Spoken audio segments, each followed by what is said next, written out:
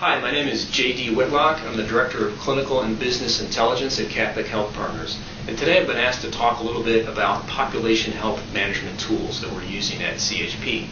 What do we mean by that?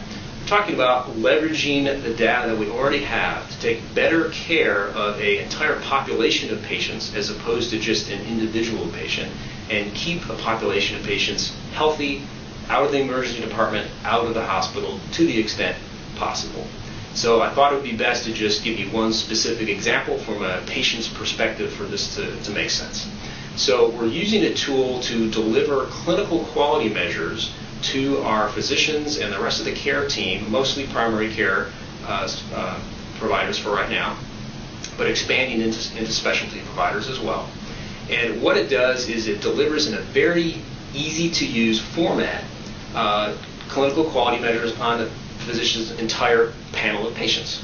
And one thing that I've heard uh, one of our physician leaders say in reference to this is, he said, I thought I was doing a great job for all of my patients. And then after I had this tool available, I realized that I was really doing a good job for the patients that came and saw me, but there was a lot of patients in my panel that I feel responsible for that were not coming to see me, and I was not doing a good job on these clinical quality measures for them.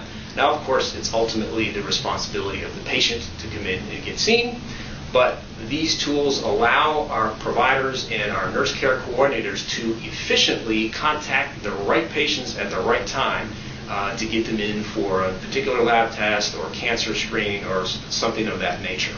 Um, so that's just one example. We're, we're using many other uh, tools uh, data, bringing together clinical data, claims data, doing predictive modeling to figure out when patients are likely to get sick in the future. And, uh, and so our nurse care coordinators can contact them early before they get really sick to stay, keep out of the hospital, um, and many other tools similar to that. So please stay tuned for future updates.